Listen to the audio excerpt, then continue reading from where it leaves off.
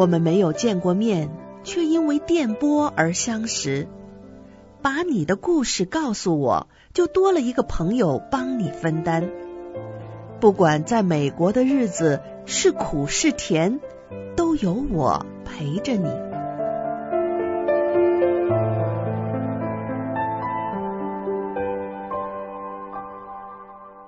明明信箱：mailbox 明明 at gmail dot com。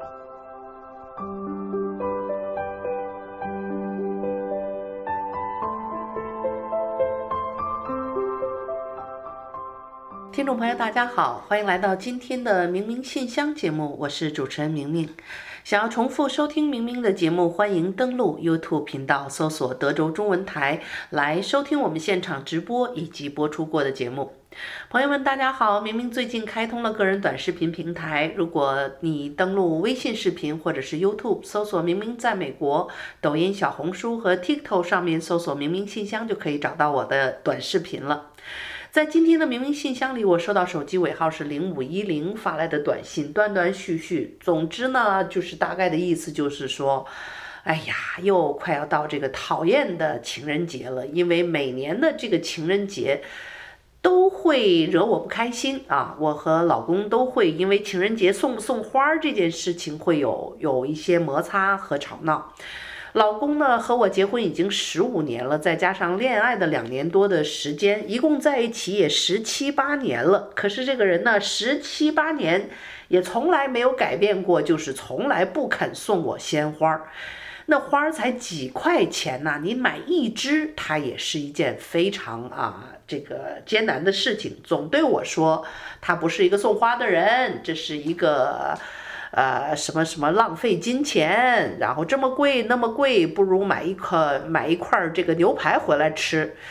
哎，这也不知道当初是怎么看上他的。我们是前同事啊，当初呢就觉得他在公司特别的老实。呃，每次看见我呢，我知道他喜欢我。当初他看见我就会脸红，哎，我就觉得他很可爱，不太爱讲话，然后经常脸红。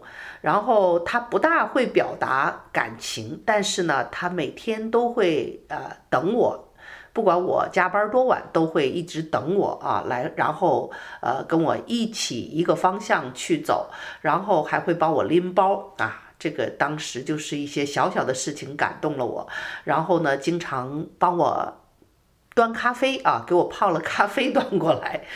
哎呦，当初你看人家不会讲话啊，会人家不会送花，人家会送咖啡啊，会给你拎包，这也挺难得的。后来呢，他说这个送花这个事情不是情人节开始有的矛盾了，呃，在这个当初两个人婚礼的时候，就因为婚礼的鲜花的事儿就闹过不愉快。呃，当时呢，他们结婚的时候两个人都很年轻，也没什么钱。呃，婚礼的预算是非常紧张啊，婚礼已经很简单了。可是哪个女孩子不向往自己的婚礼啊，非常的美丽又浪漫呢？尽管当时这个 budget 很少，就钱也很少啊，但是我还是觉得这个婚礼的鲜花啊，那个几千美金，我还是狠狠心用妈妈给我的钱就支付了这个婚礼的鲜花和各种费用。那么当然，呃，最终的照片拍出来的确是非常的美好。这么多年以来看这个婚礼的照片，有这个美丽的鲜花，还有这些布景，也觉得非常美好的一个回忆。可是当初就因为这个几千美金的这个婚礼的鲜花呢，我们从婚礼之前 就一直闹矛盾。他呢建议我不要弄这些这么多花儿啊，把这钱省下来用于这个支付我们购买房子的这个首付款。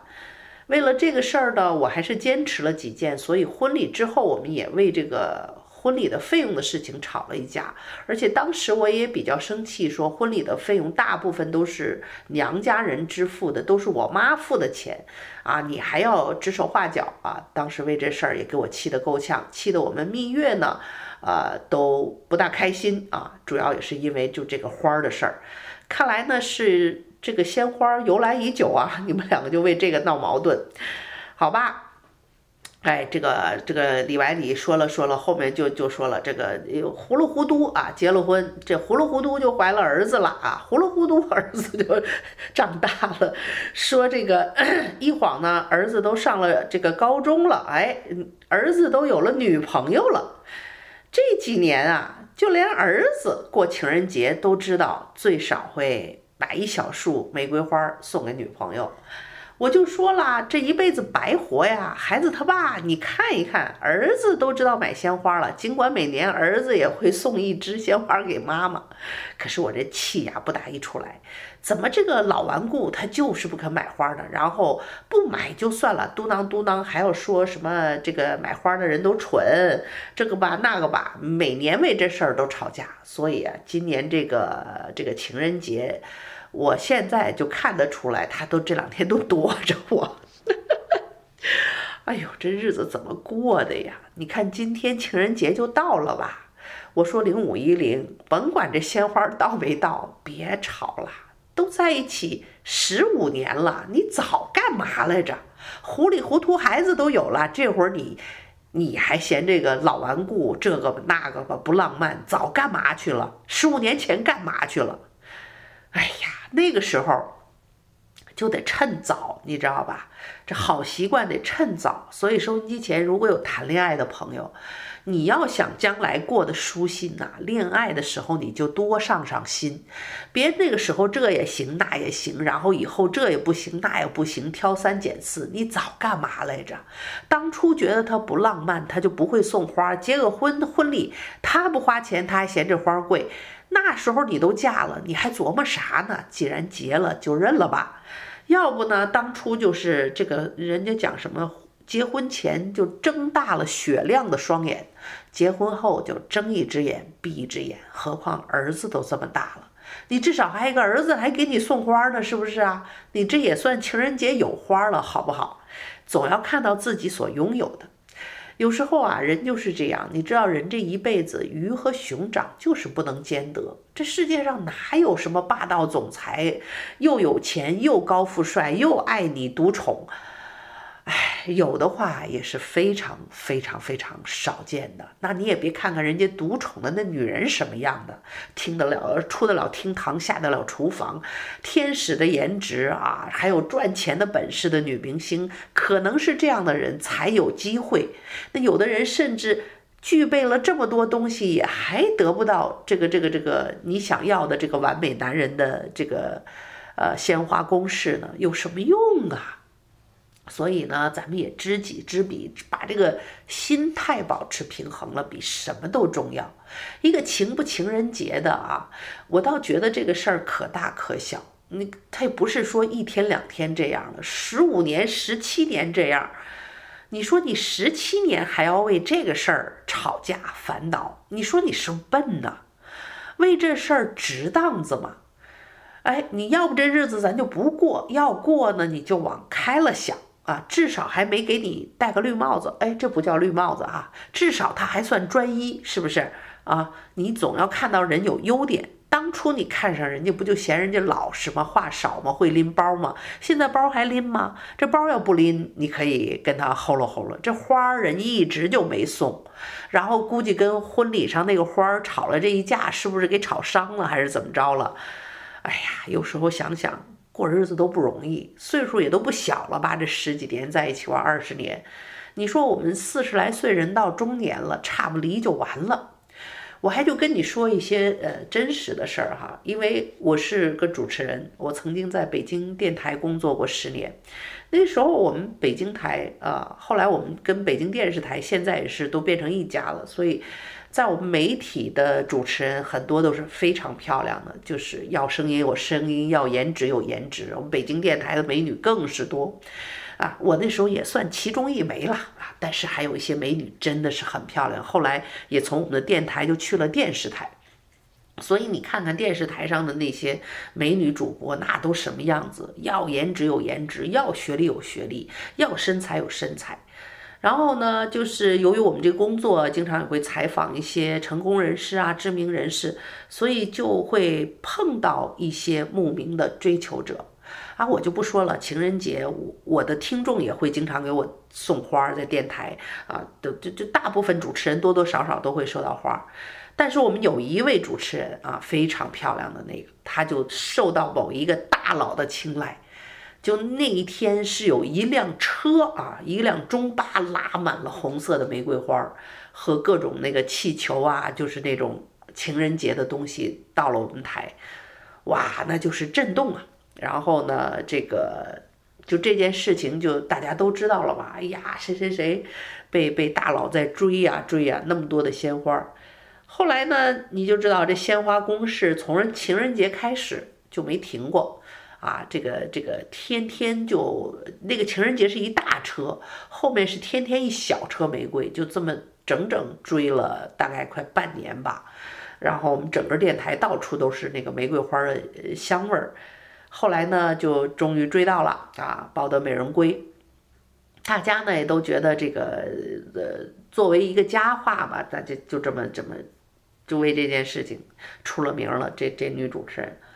后来呢，这个结婚了没几年，老公外头有小三儿了啊。然后呢，呃，最早被发现他有小三儿这个事儿的，也是就是他这个太太，他这太太是我们同事了的闺蜜，又又又发现了这个同样的公式啊，这个这个又有人在狂送花，同样的路数啊，一车鲜花就送到了那个。外面他所追求的那个、那个、那个女生的公司去了，然后这种事情就经常是很狗血吧，马上就传出来，然后就就这个送花的那个手笔哈都一模一样，所以呢，这个可想而知啊，哎，后面呢两个人就是这个撕的很难看，孩子也有了，最后也离婚了，所以你说如果这这个这个可能不能做一个直接的比较，但是真的我就觉得说。呃，一方面是一个浪漫的追求，可能是一个美好的回忆；一方面呢，可能是一个踏踏实实、知冷知热、对家庭有责任感、对感情特别忠心的丈夫。如果是让你选择，你会选哪一个？我们正常人脑筋啊，这个有理智的人都会选择后者啊。一个踏踏实实过日子的人，可能比这些浪漫的说辞都重要。理智归理智，现实归现实。啊，就这个鲜花攻势，就这些渣男追女人的这些方法，我们就比如说我吧，我现在说的可清楚了。结果明明天碰着这么一主呢，我也有点晕头转向啊。就是你每天的被人甜言蜜语哄着，然后鲜花攻势、礼物攻势，这个这个攻势的时候，人在幸福当中有的时候就会冲昏了头脑，失去了一个理智的判断。所以很多的美女就是这样上了道了啊，这都是过来人的血泪史。呃，那么当然这个。后来我们就知道，你知道他会浪漫，他会，哎，知道女人的心思，他会知道怎么追到你，他能用这种方法对你，他也有具备这个能力对其他的人，呃，怎么样能够让这一份感情更加的细水长流，能够长久，能够到你。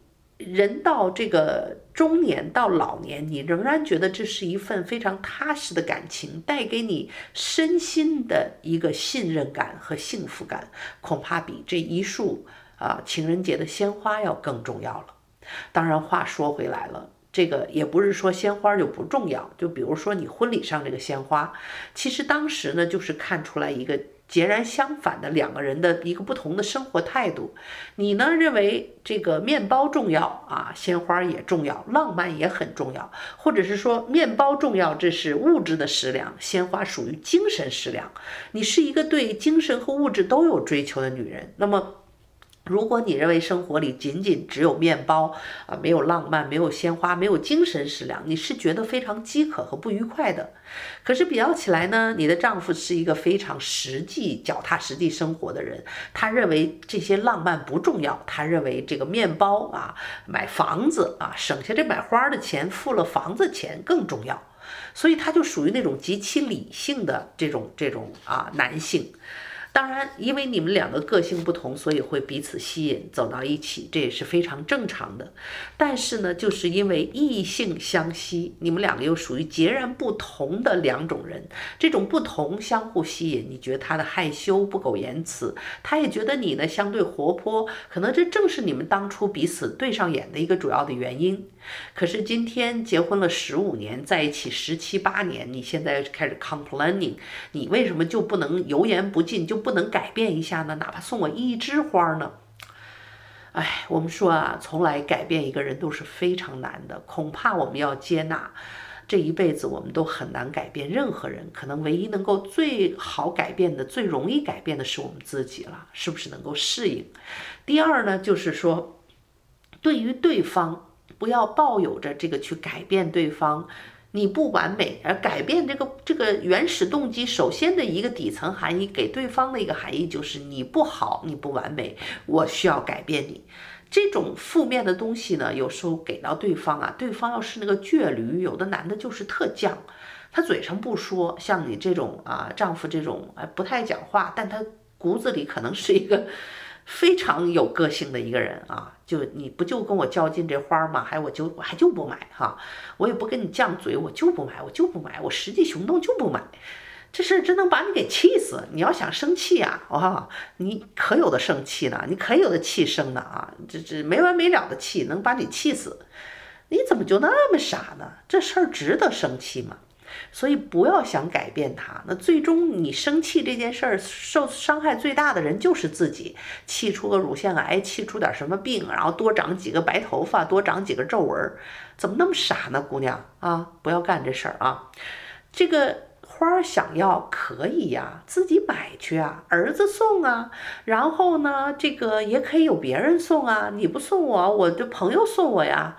那我就就就情人节，我就家里我喜欢我就摆呀。你说以咱们现在人的生活水准了，就算是低收入的人，这省下一顿饭钱的事儿，这一顿饭都用不了，可能就买一束玫瑰花，这情人节不就有了吗？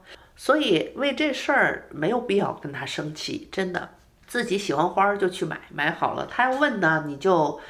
呃，也不用讲，反正呃有花了啊，哼着小曲儿，把花弄个漂漂亮亮的哈，就完了，自己开开心心的就好了。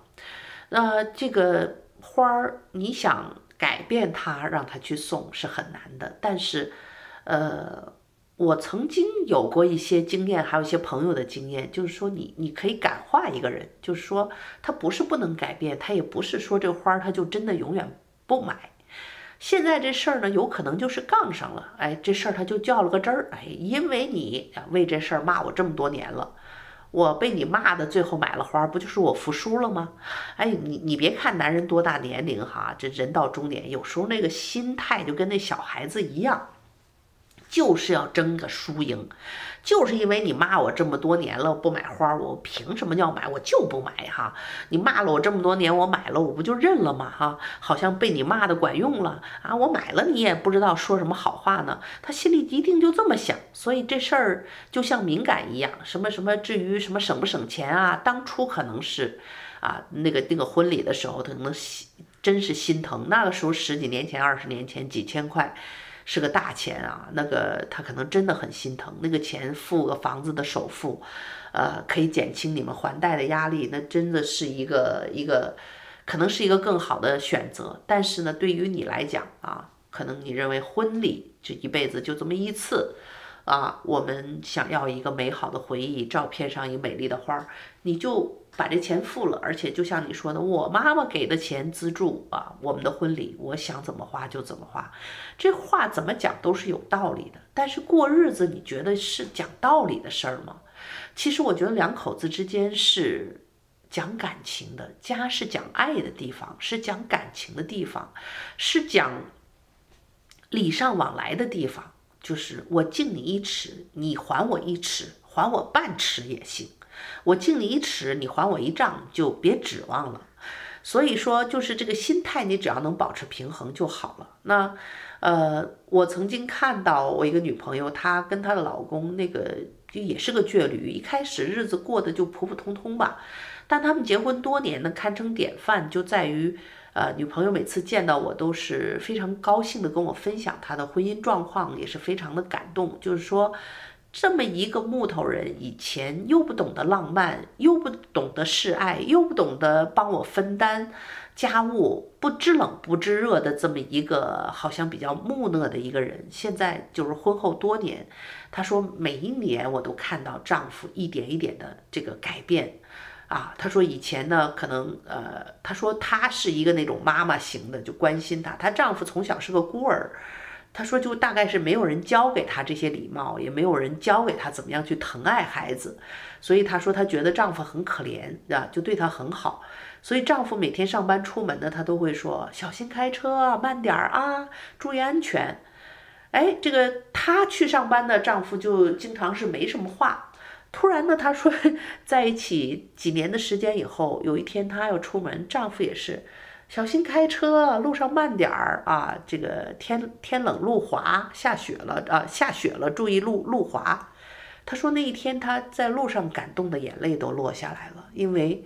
呃，这么多年，老公不会说这种话，而且从那以后，老公经常会这样说。他说，就是一块石头，他就给捂热了，就这种感觉。那么后面呢，他又说，呃，他那个老公啊，以前不太会帮他分担家务，家里啊，收拾房子啊，做菜啊，做饭啊，呃，很多都是 都是他的事儿。呃，后来呢，他就发现这个呃，老公。有一次下班回来，就主动扛了一袋大米回来，呃，那个他就很诧异，他说：“咦，怎么知道这个这个买家里的东西了？”啊，老公说：“啊，正好昨天那个看见你煮饭，这个米袋子好像就用完了。”他说：“这个米呀特别重，怕你搬不动，所以呢，他今天下班路过超市，就想着买了一大袋的米回来。”他说：“啊，这个我扛回来。”这样呢，能吃好长时间。他说省着那个买米呢，这个扛着挺沉的。哎，就这么一些一点一点的小事儿啊，然后他就说，你看，就是很大的一个改变。所以我觉得这个感情的事情有时候真的是相互的，就是石头怎么样给它捂热，或者是说你感动他，让他愿意为这个家去改变，主动的去改变，这才是我们想要的。你说你打呀骂呀，这这逼来的花儿。你拿着就开心吗？这事儿我也干过。这个曾经哈，曾经前任在恋爱的时候，以前呢，别人啊都是请以前的这个这个前任是一定会买花的啊，这这个都不会有什么什么呃这个其他的这个问题都从来没有。嘿，这个前任呢就不行，居然没没买花回来了。嗯，那我也什么话不说。哎，做好了晚饭，别吃了啊！我今天心情不好，你各回各家，别在我家待着。关上门给轰出去了。然后呢，这个一会儿过了半天又回来敲门了，一看门眼啊，鲜花举在那个门眼上了。哎，我这也就开了门了，进来吃饭吧。其实呢，就是说你在恋爱的时候就告诉他我的底线，告诉他我的需求。然后那个时候我们因为是恋爱，所以我也很容易就就把我的这个想法告诉你，哎，我的情人节你不送花可以，就不要见我了。所以第二年开始他就知道这个事情了啊。之前他会说，哎呀，一大男人拎着个玫瑰花路上走，哎呀，害羞啊，害不害臊？我说害臊别买，对吧？害臊你这情人节别来见我，对不对？这谁也没逼着你。所以呢，这个二半夜的这个这个被我轰出去了，买个花回来以后，打以后每年情人节之前他就知道，老早就在网上订好花送到我的单位，这样他也不用呃觉得很害羞，拎着个花满街走了。这就是慢慢的改变。但那个时候早啊，那恋爱的时候培养好了，结婚以后就没这个问题啦。婚后他都想着呢，他不会再忘的，他知道我这个底线在哪儿。你这当初没培训好，现在这都结婚十五年了，在一起十七八年的，这会儿咬牙跺脚，你急什么劲呢？算了，洗洗睡吧啊！情人节呢就看好处，哎，我没说嘛，想要花自己买，然后呢对他就是不要有太多的期望和要求，反倒他是他每改变一点，有一点点小进步，像他帮你倒杯茶呀，哎，他这个晚上知冷知热的就对你一声声问候啊，出门的一个问候啊，他有但凡一点点的进步，你都记得要夸他，要肯定他。哎呀，老公，你说这个话，我觉得心里特别的温暖。哎，这就是你们当初一个交流和你们感情的一个模式，就说他是用行动表达爱，你呢可能会更善于沟通和表达。那么他不善于言辞，你也不说话，这两个人的感情就会越走越淡，呃，也感觉不到这个婚姻的温暖。所以呢，啊，这就话说回来，这个花儿这事儿就不提了。有时候呢，这种倔驴就是这样，你越不提呢，他倒有可能啊，或哎哪一天。这个这个可能就改变想法了，哎，给他讲点悲惨故事故事啊，谁家的这个这个老公总也不给老婆买花是吧？啊，后来呢，这个这个有人给买花了，这个这老公就紧张了，赶紧又开始天天买花追是吧？哎，把别人的这个血淋淋的故事跟他讲讲，吓唬吓唬他呀，你得珍惜珍惜这老夫老妻啊。然后呢，这个对他来讲也是如此啊，你也不用太宠他。生活里这个这个，我敬你一尺，你还我半尺，就这么一个这么一个事情，对吧？你不愿意买花行啊，我也不愿意做早饭呢，你自己就门口去买早饭去呗。我这干嘛天天起早贪黑的起来给你做饭呢？是不是？这样呢，你冷不丁做一个饭，他对你感激涕零的。那也可以，呃，想让我们维持这个温度，这老保姆天天起来给你做饭，可以呀。你也得哄老保姆开心吧？你是一束玫瑰花值钱，还是每天早上热腾腾的早餐、丰盛的早餐、换着花样的早餐，你更幸福啊？这些事儿呢，就是一个道理。哎，如果但凡老公呢，他还属于理性的人，他会分析出这个孰轻孰重的。Give you color, Cici。哼，好吧。好啦，今天开开心心过个节啊！